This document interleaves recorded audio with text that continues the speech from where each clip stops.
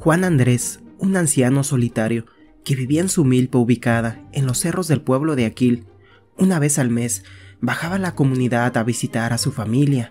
Pasaba tres días con ellos y nuevamente regresaba a su pequeña casa de madera y guano.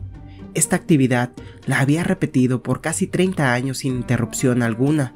En ocasiones, su esposa se ofrecía a acompañarlo, pero él siempre se negó a recibir compañía. Era muy trabajador. Iniciaba sus labores a las 5 de la mañana y las culminaba con la puesta del sol. Solo tomaba un pequeño receso después de su almuerzo.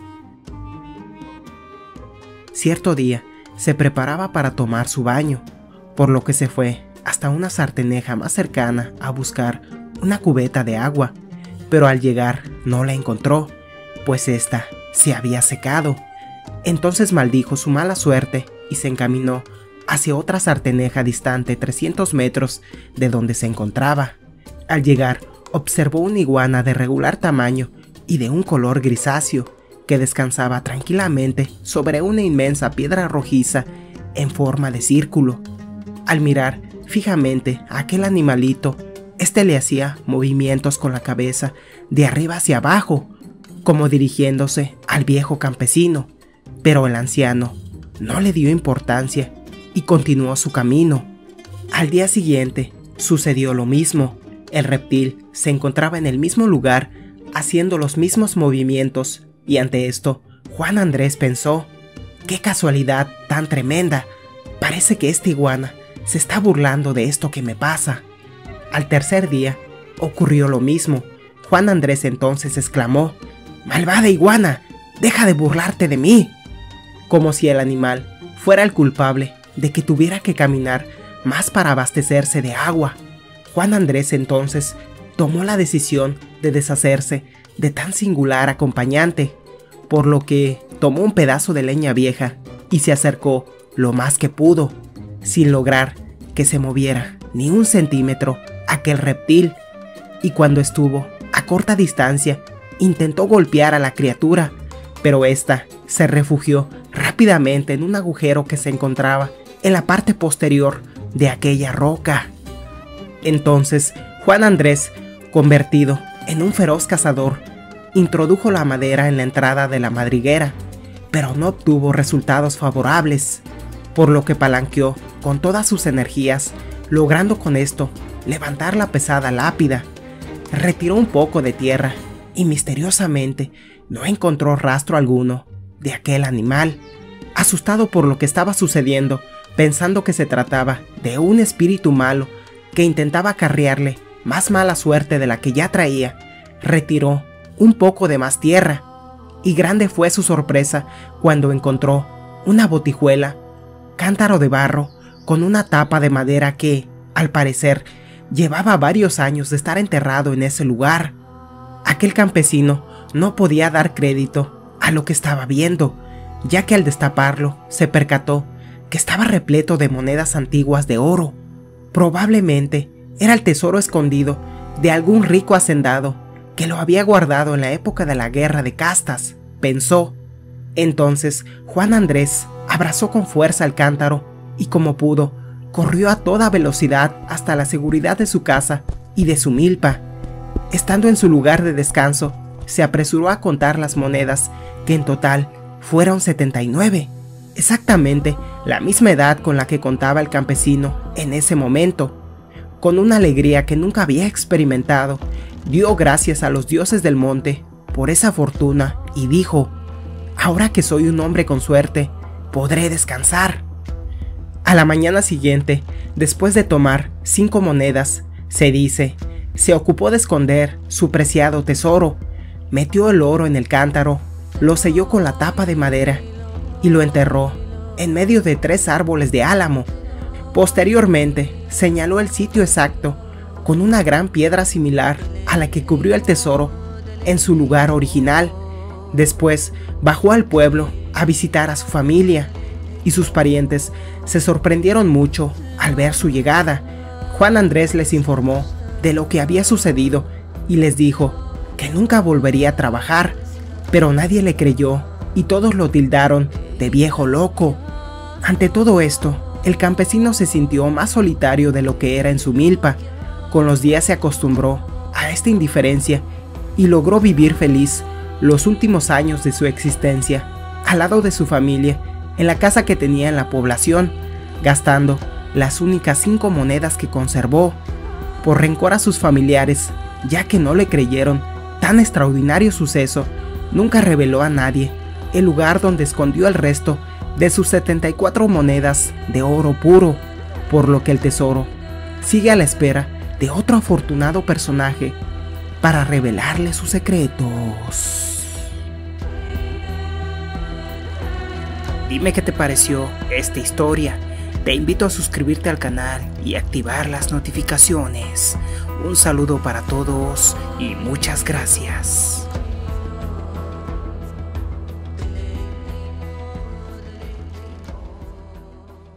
Por la llanura de Anáhuac se cruzan y bifurcan los caminos que desde tiempo inmemorial fueron andados por comerciantes, contrabandistas y arrieros. Por esos caminos viejos pasaron los cargamentos de mercancías, armas y ganado que tenían como destino las rutas de Monclova, Coahuila y Sabinas Hidalgo, Nuevo León. Los peligros de la senda formaban parte de las vicitudes del viaje, pues indios belicosos y bandoleros en gavillas vigilaban los caminos reales y el movimiento de valores con el fin de asaltar o matar a los viandantes. Las más preciosas cargas eran las que tenían como destino o punto de salida las ricas minas del Cerro de la Iguana en Lampazos de Naranjo, Nuevo León. El ferrocarril vino a dar un poco de alivio a los viajeros, que ya desde 1882 pudieron trasladar sus mercancías y valores con alguna seguridad pero los caminos carreteros siguieron en movimiento, y más por los años de la Revolución Mexicana, en que tropas federales, guerrilleros y bandas de asaltantes mantenían en zozobra a los habitantes de haciendas y rancherías.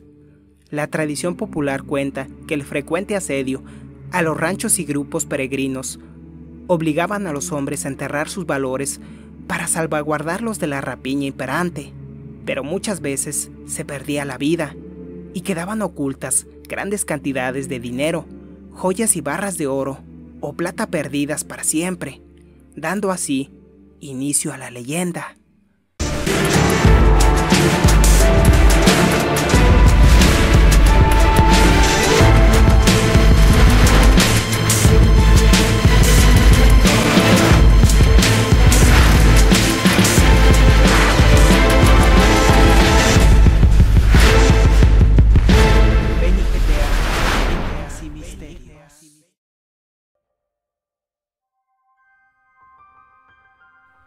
Por los montes que rodean el pueblo de Colombia, jurisdicción del municipio de Anáhuac, Nuevo León, hay algunas ruinas de antiguas casas que ahora solo son montículos de tierra y piedras. Casi todas fueron moradas de pastores y gente humilde, trabajadores de ranchos y haciendas que poca o ninguna riqueza pudieron guardar. Aún así, hoy se puede ver ocasionalmente algunos exploradores removiendo escombros o haciendo excavaciones en busca de tesoros.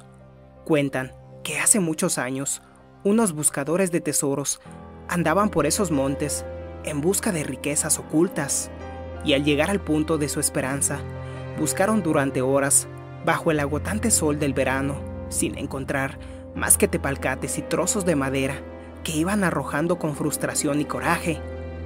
Pero entre tanta cosa inútil, encontraron también un monigote deforme, un idolillo mal hecho que parecía ser de piedra, sin valor alguno y algo pesado para andarlo cargando por los llanos calcinados por el sol canicular.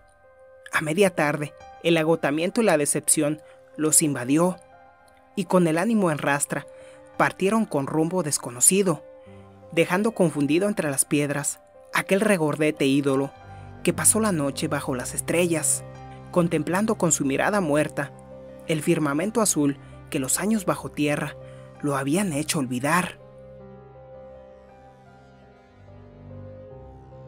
Al día siguiente, antes de salir al sol, un pastor pasó por el lugar, guiando su rebaño por los campos secos en busca de la vida que se había replegado hasta las orillas del río Bravo. El hombre caminaba cabizbajo por el peso de las penas que la vida de miserias había acumulado sobre sus hombros. Por esa temporada de sequía, todos los males se agudizaban. Debía mucho en la tienda de abarrotes. La leche ya no se la querían comprar y tenía que tomársela para no morir de hambre. Y su ropa se había convertido poco a poco en un atuendo de jirones sucios. El pastor se sentó entre unas ruinas y repasó una vez más sus desventuras, mientras las cabritas escarbaban con las pezuñas en busca de raicecillas frescas aún por el rocío que la noche piadosa había dejado caer sobre los campos. De pronto descubrió el monolito que entre las piedras lo miraba con sus grandes e inexpresivos ojos. Sus rasgos, mal trazados, apenas lo diferenciaban de las piedras y terrones circundantes, pero fue descubierto y recogido por el pastor, que lleno de curiosidad, se volvió a sentar y empezó a tallar con su navaja el zarro que indefinía más sus trazos burdos. La expresión famélica se llenó de luz cuando vio caer una gruesa capa de costra que dejó al descubierto una superficie de metal amarillo.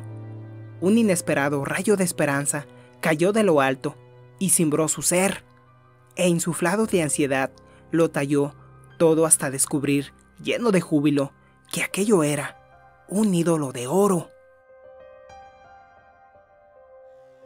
Quiso gritar y danzar de gusto, dejando volar al viento los andrajos que lo vestían, pero a duras penas se contuvo y guardó el rico monolito en aquella bolsa de yute que hasta ese día solo había contenido tortillas duras.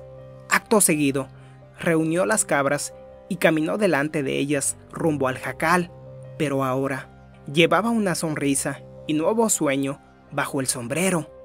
Cuentan que cruzó la frontera para realizar una buena venta y a cambio de aquellos kilos de oro recibió una cantidad de dólares que jamás soñó ver entre sus manos y pensando que aquel golpe de fortuna era una bendición que ya nunca volvería.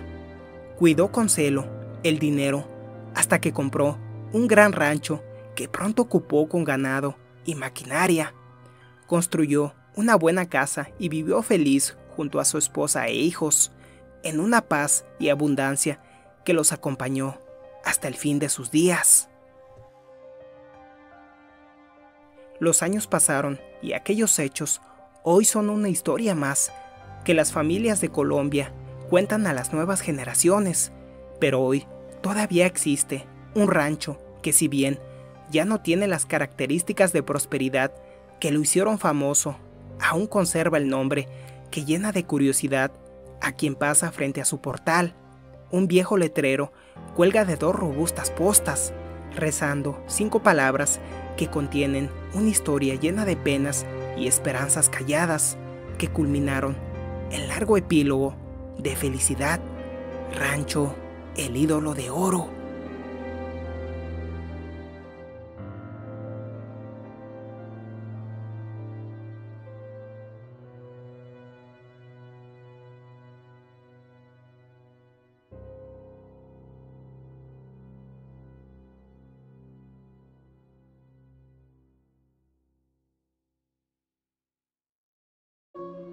Esto sucedió cerca del poblado del Pochote, municipio de Teloloapan. Este poblado está ubicado sobre la carretera federal Teloloapan-Arcelia, a unos 15 minutos de la ciudad de Teloloapan. Ahí, a bordo de la carretera, hay una desviación que va para Izcapuzalco y para el Estado de México, y justo allí, en ese crucero, está el poblado del Pochote. En ese crucero, a mano derecha y a un lado de la carretera antes mencionada, hace algunos años estaba ubicado un restaurante. Toda la gente que viajaba a Teloloapan rumbo a Arcelia o viceversa podía pasar a ese restaurante a comer o a tomar un refresco o un aperitivo. Por tal motivo, ese negocio contaba con tres empleados. Dos de estos eran mujeres y el otro era hombre. Este último empleado era un joven de unos 20 años, el cual era del poblado de Tenantitlán. Dicho poblado se encuentra como a unos 15 kilómetros de distancia del crucero del Pochote. Este empleado se llamaba Andrés y todos los días tenía que levantarse tempranito, a las 5 de la mañana, para poder llegar a las seis y media a su trabajo, ya que lo hacía caminando por unas veredas que atravesaban un cerro y unas lomas. De esta manera cortaba camino y así podía llegar más rápido. Tenía que hacerlo a pie, pues el camino era de terracería y daba muchas vueltas, lo cual hacía más tardado el recorrido. Aparte de que, para esos poblados, no existía transporte. Por tal motivo, la mayoría de la gente tenía que trasladarse en bestias, caballos o burros, o a pie. Lo mismo tenía que hacer de regreso a su casa. Tenía que irse a pie, y a veces se le hacía noche, pues si había clientes, debía de esperar a que se marcharan, Varias veces tuvo que irse a pie a las 8, 9 o 10 de la noche, y el camino estaba bastante oscuro y solitario, lo cual dificultaba su marcha y la hacía más lenta. En una ocasión salió a las 8 de la noche del restaurante, se encaminó para su casa y cuando iba a medio camino en una pequeña loma, vio desde lejos que había una gran llamarada. Parecía como si alguien hubiera encendido una gran fogata y esta llamarada estaba justo por donde él tenía que pasar. Continuó caminando, intrigado por esa lumbre que cada vez veía más cerca, y cuando ya estaba a unos cuantos metros del lugar del resplandor, se dio cuenta de que no había persona alguna ahí, y que lo que ardía era un enorme tepeguaje. Este árbol, que estaba a un lado del camino, ardía desde el tronco hasta las copas más altas.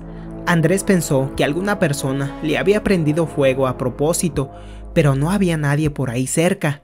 Se detuvo curioso a observar por un buen rato a ese árbol, pero por más que ardía, parecía que la lumbre no lo consumía, pues el árbol estaba igual que al principio. Andrés decidió continuar su camino y cuando ya había avanzado unos 100 metros, volteó a ver el árbol y se dio cuenta de que la lumbre ya era muy poca. Pobre árbol, pensó Andrés, ya lo consumió el fuego. Siguió su camino y llegó a su casa. Ahí les contó a sus padres y a su hermano mayor lo que había visto. Qué raro, dijeron sus padres. Ha de haber sido un borracho el que le prendió fuego. Mañana que te vayas a trabajar, te fijas si aún queda algo del árbol para ver si podemos ocuparlo para leña. Y así, al día siguiente, cuando Andrés pasó en la madrugada por ese lugar, desde lejos vio que el árbol seguía ardiendo. ¡Qué raro! pensó Andrés. Ya pasó toda la noche y el tepeguaje sigue ardiendo. Cuando estuvo a unos cuantos metros, se dio cuenta de que el árbol estaba igual. La lumbre parecía no quemarlo, pues sus ramas, tronco y hojas estaban verdes y llenas de vida. Continuó su camino y al poco rato se olvidó del incidente. En la tarde, a la salida del trabajo, cuando caminaba rumbo a su casa, vio desde lejos que el árbol seguía ardiendo. Cuando pasó junto a él se dio cuenta de que éste seguía igual, pues la lumbre parecía no causarle daño. A medida que se alejaba, el fuego se empezaba a apagar, hasta extinguirse por completo. Llegando a su casa les contó a sus familiares todo lo que había observado, diciéndoles que el tepeguaje seguía igual, intacto, sin que el fuego lo quemara. De seguro, ahí hay un tesoro enterrado, dijo su padre, pues dicen que cuando hay una tapazón, la tierra arde por los gases que despiden los metales, o es una señal que los espíritus que lo cuidan dan para que la persona que tenga la fortuna de verla sepa que ahí hay un tesoro y escarbe y se lo lleve para su casa. Mañana temprano nos vamos contigo y nos llevamos picos, palas y barras. Mientras tú te vas a trabajar, nosotros escarbamos y sacamos el tesoro. Tan pronto como amaneció, los tres se encaminaron decididos en dirección hacia donde estaba el árbol. Ya casi para llegar, notaron que no se veía ninguna lumbre, y cada vez que se acercaban más, podían ver el enorme tepeguaje, el cual estaba radiante y verde, y no tenía señal de haberse quemado, ni se veía ninguna llama por ningún lado. Se me hace que Andrés nos engañó, dijo el hermano mayor. Tienes razón, contestó el padre, pero, de todos modos, por si las dudas, hay que empezar a escarbar mientras esperamos a que tu hermano salga del trabajo. Así lo hicieron. Empezaron a escarbar alrededor del árbol, pero por más que escarbaban, no encontraban indicios de ningún tesoro. Decepcionados y cansados, se sentaron a esperar a Andrés. Este no tardó en aparecer.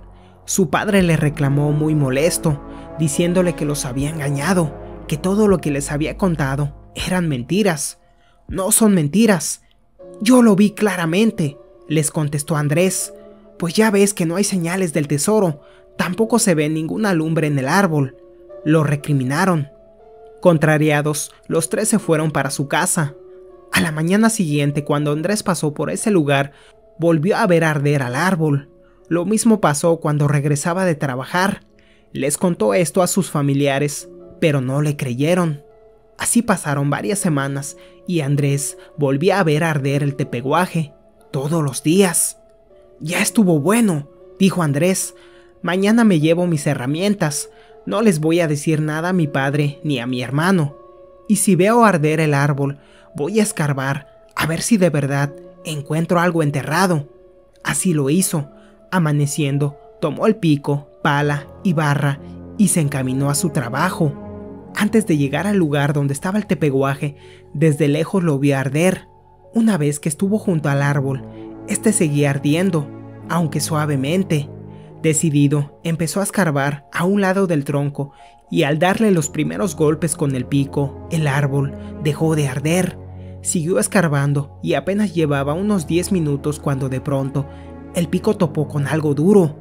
Utilizando la barra, empezó a escarbar alrededor hasta descubrir una enorme piedra plana, la cual parecía cubrir un gran hueco. Con mucho cuidado, hizo palanca con la barra y poco a poco movió esa gran piedra hasta lograr hacerla a un lado. Entonces se dio cuenta de que en ese enorme agujero que quedó al descubierto sobresalían unas orejas, como de olla o tinaja de barro.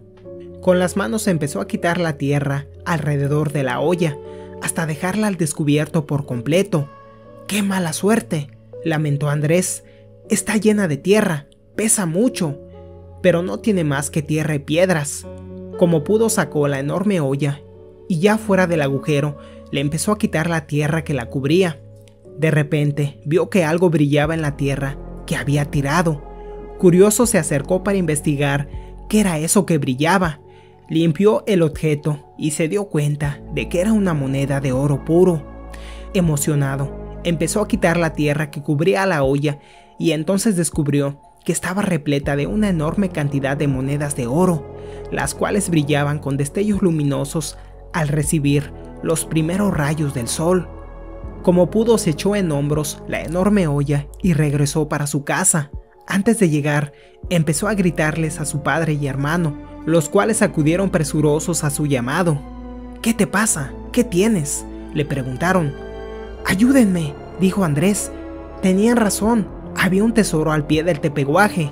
Lo encontré y aquí lo traigo. Sus familiares emocionados le ayudaron a cargar la olla. Una vez dentro de la casa la vaciaron y efectivamente se dieron cuenta de que era verdad. Dentro de esa olla había cientos de monedas de oro. Las lavaron, las limpiaron bien y las guardaron. Ese tesoro siempre había estado ahí, dijo el padre, solo que estaba destinado para ti, por eso tú eras el único que veía arder el árbol. Ya ves que nosotros fuimos y no vimos nada, escarbamos y tampoco encontramos nada. Tú, en cambio, seguías viendo arder el tepeguaje, escarbaste un poquito y luego lo encontraste. Eras el de la suerte, por eso solo tú podrías encontrarlo. Sí, creo que tienen razón, dijo Andrés. Bueno, se acabaron las pobrezas, vamos a vender estas monedas y nos vamos a ir a vivir a Morelos. Allá vamos a comprar una casa y a poner un negocio. Así lo hicieron. Andrés vendió unas cuantas monedas y compró una casa en Cuernavaca. Después vino por su familia y todos se fueron a vivir allá. Con el dinero que le dieron, puso allá varios negocios y ya ni se despidió de su patrón, el dueño del restaurante donde trabajaba. Se fueron sin decirle adiós a nadie y ya no regresaron jamás a su pueblo. Bueno, Andrés sí vino una sola vez, hace varios años, pero vino por el puñado de monedas que había dejado enterradas en el patio de su casa, pues no pudo llevárselas todas. Por eso las enterró, para poder venir después por ellas. Y en ese único viaje que hizo por las monedas de oro que había dejado enterradas, fue cuando me lo encontré, en el crucero del Pochote. Nos saludamos y vi que traía una camioneta del año. ¿Te sacaste la lotería? Le pregunté. Nada de eso, me dijo. Vente, vámonos a Teloloapan y en el camino te cuento lo que me pasó. Se compró un 6 de cervezas y durante el trayecto del Pochote a Teloloapan me contó esta historia.